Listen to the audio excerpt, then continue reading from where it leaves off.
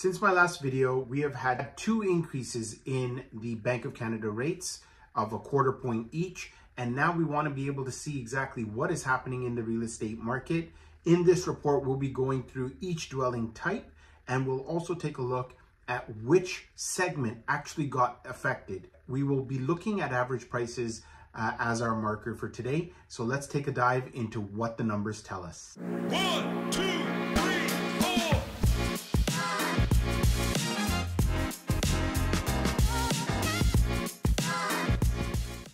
Hi, I'm Paul Sawhney. I'm a realtor, mortgage specialist, and real estate investor here in the GTA.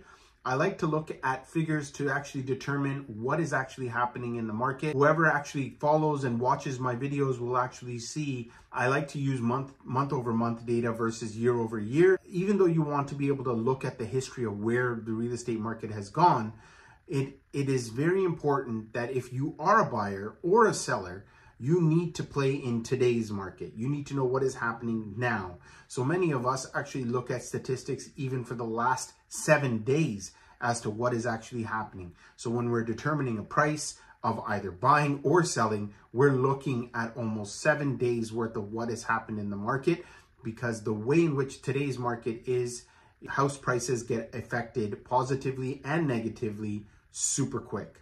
For many of you guys who get a market report and are basically told that the market has either increased or decreased, uh, and you're looking at last year's numbers, you're probably thinking, hey, well, 2023 market uh, has not really changed significantly. But the truth of the matter is, is since January onward, the market has been smoking hot. In the month of June, when the Bank of Canada announced a quarter point rate hike, there was some sluggishness and then also now for the month of July, we will actually see the ramifications of that quarter point interest hike uh, in the month of July. If you are interested in getting involved in the real estate market, I highly recommend you book a call through my Calendly link. We can discuss all things real estate, all on your schedule.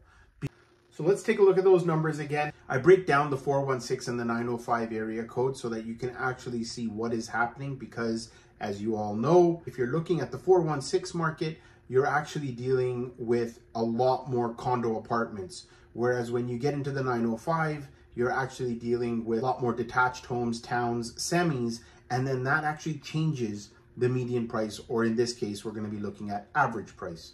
So let's take a look at the numbers here and sort of get a better idea as to what is actually happening and what I personally feel is gonna start happening uh, from July onward stats, with the Bank of Canada announcing their two quarter point rate increases, which I think were personally ludicrous and did not need to happen. Here in the 416, here's just a little uh, graph that you can see. And basically in this graph, you can see that there is just, if you follow the color codes here, the pink being detached, semis, teal, towns, blue, condos, purple, you can see, you know, they're all trending upwards. And based on that, you can see from January all the way up to about June, we had uh, an uptrend in the 416 area code, and even in the 905, they're all uptrending um, pretty good. Now we'll go into like the actual figures so that you can see what's happened in the detached market. The main thing here I highly encourage you guys pause the video, take a look at the numbers. This is what is important for you. It's very important to know when the most opportunistic time will be for you to actually sell or purchase a home.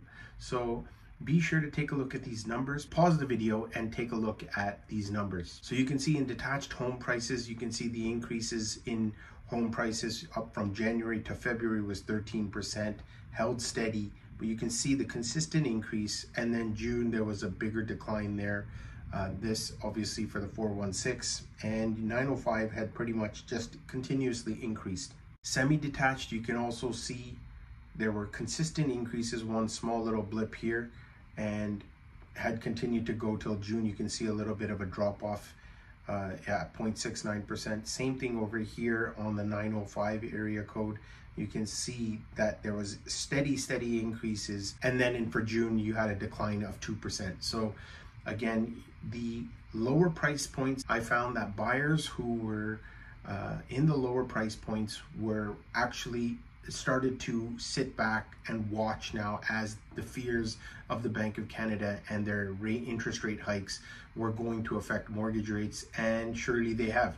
And so I personally think that even in the month of July, you'll see price declines. Here you have townhomes, same thing. There was um, some steady increase. There was obviously a very big blip in February, but when it comes down to uh, June, you can see now the price point being a little bit higher over the 1 million mark, that this becomes a point where first time home buyers are now going to come out of the market here. Uh, same with the 905 down 2.4%.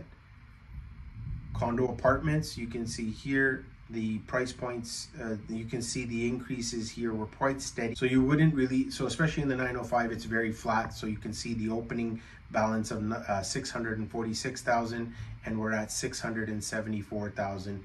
So the majority of the that increase there. So a 4% increase uh, approximately in the 905 area code and the Toronto condo prices had gone up almost 8%. So here again, you can see the steady increases that have occurred. I'm, I'm guessing that you're gonna see in the month of July a sharper decline.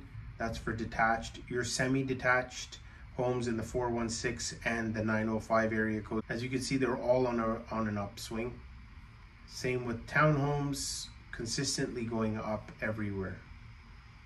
Same and same with your condo apartments. So if you're taking a look at this data and trying to figure out how it affects you, it is very important to figure out which city you're in and then figuring out which dwelling type you are in to determine a, a, rough estimate of what the pricing is. I highly encourage you to book a call with me through my Calendly link and we can actually go over and dissect what is actually happening in your specific neighborhood, looking at comparables and also what is trending in the market throughout. So you can get a good feel as to what is happening with your home of interest or your home that you're trying to sell.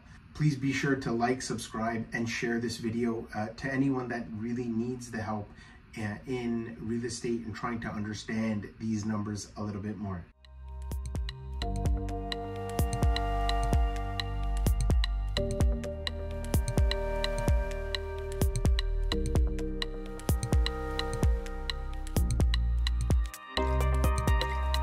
My name is Paul Sawhney. I'm a realtor, mortgage specialist, and real estate investor here in the GTA. If you find any of this information of value, I would appreciate you guys hitting that like button, subscribe button, and share this video to others that are actually in the market to either buy or sell real estate.